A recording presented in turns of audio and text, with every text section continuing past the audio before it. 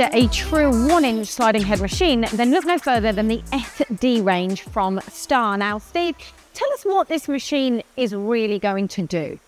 Well, for starters, as you said, it's an inch machine. We haven't made an inch machine for many years. It's been a bit of a pet project of mine, liking to have an inch machine because we went from 20 to 32. So we've now made this, and as you say, there's a series, there's four models, and it's the same configuration. There's just some little subtle differences from a programmable B axis to a manual B axis to a machine that has two B axis. So yeah, fundamentally the machines are the same, just little differences internally. Okay, tell me about the plateaus. What ultimately can we achieve from this setup?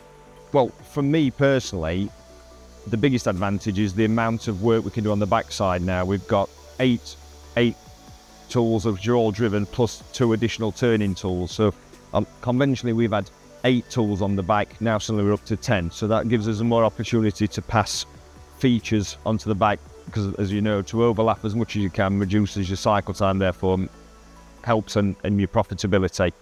In addition to the uh, increased overlapping capability, we have a lot more sort of driven tool wise on the front end for a, a platen type machine. As you can see here, there's four driven tools which you can put cartridges on. So we've put a triple front facing.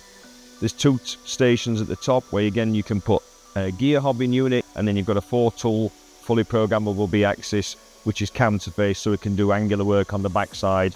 Again, then with your turning tools, both sides, and your, and your static drilling, plus an additional deep drilling station at the side of the sub spindle. I know you said this is a new machine, but who's taken the most amount of interest in it?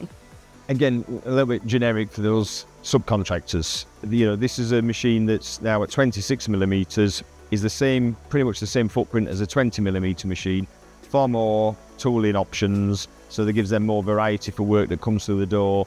Also, lower price point for putting work on, say, a 32 millimeter machine because it was above 20 millimeters and we had nothing in between. So that that for me is is is where it fits within our range, uh, and and it's already proven very popular with the with our customer base.